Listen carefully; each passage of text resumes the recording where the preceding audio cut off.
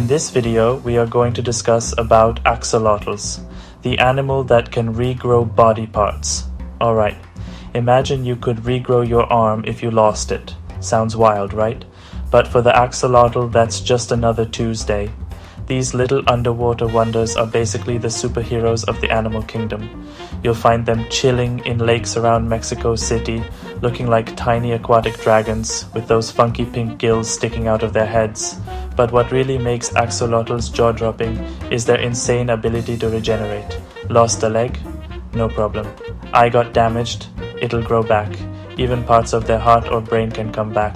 And here's the kicker when an axolotl regrows a limb, it's not some weird, half working stub, it's a fully functioning leg, nerves, bones, skin, and everything. Scientists have been obsessed with figuring out how they do it, because let's be honest, who wouldn't want to unlock that superpower? So, how does it work? When an axolotl gets injured, special cells gather at the wound and turn into a kind of body part blueprint. It's like the axolotl's body presses a reset button and says, Alright, let's rebuild from scratch.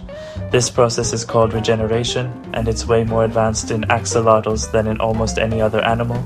And get this, axolotls never outgrow this power. Most animals lose their ability to regenerate as they get older, but not these guys. Whether they're babies or adults, they always bounce back.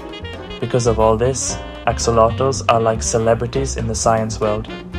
Researchers study them to try to crack the code of regeneration. If we could copy even a fraction of what axolotls do, it could change medicine forever, think better healing after injuries, or even regrowing lost limbs. And besides being science icons, axolotls are just cool. They come in wild colors from dark brown to albino pink, and they've got this permanent smile that makes them look like they're always in a good mood. But sadly, they're super rare in the wild now, so they need our help to stick around. So next time you see a picture of an axolotl, remember, you're looking at a real life superhero. If you liked it, tap that like and hit subscribe so you don't miss what's next.